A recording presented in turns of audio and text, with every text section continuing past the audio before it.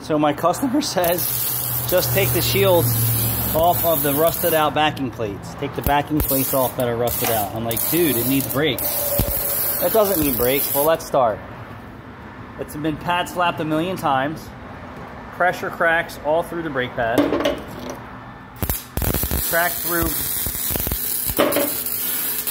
slider pin seized. This should just rotate and come right out. And it doesn't. You think it needs brakes? It's like a half inch lip on the inside of the rotor. Knuckleheads.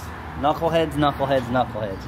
Just because you see brake pad, that doesn't mean that that's good. It needs to be checked out by a professional. And if you say it doesn't need brakes, then you need drives checked.